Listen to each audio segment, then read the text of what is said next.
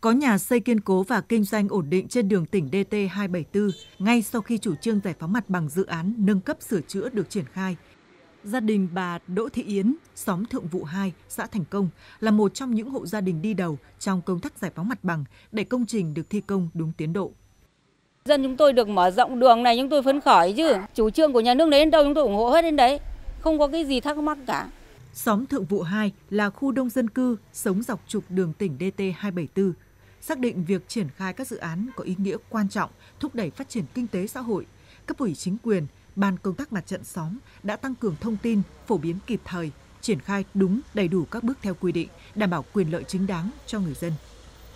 Trước khi mà cái dự án mà về thì là cũng cũng mang cái tính chất là tuyên truyền trên loa rộng rãi để bà con nắm bắt được là về cái vấn đề là à, cải tạo nâng cấp cái tuyến đường 274 này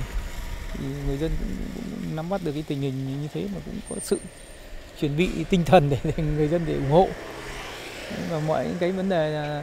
ví dụ như là liên yết các cái công khai các cái cái cái à, phương án đền bù thì nó cũng liên yết với nhà văn hóa để cho bà con người ta ra để nắm bắt được là một trong những dự án giao thông trọng điểm của thành phố, có tổng chiều dài gần 6 km, trong đó đi qua xã Thành Công trên 2 km. Số hộ dân bị ảnh hưởng cho công tác giải phóng mặt bằng trên 200 hộ. Đến nay, cơ bản các hộ dân đã nhất trí phương án bàn giao mặt bằng cho chủ đầu tư và đơn vị thi công. Xã đã thành lập hai tổ tuyên truyền vận động đối với hộ nào mà vướng mắc ừ, về chế độ chính sách hỗ trợ giải phóng mặt bằng thì xã sẽ có những cái giải pháp và họp tổ và cũng như là xuống vận động nhân dân để kịp thời bàn giao mặt bằng cho đơn vị thi công.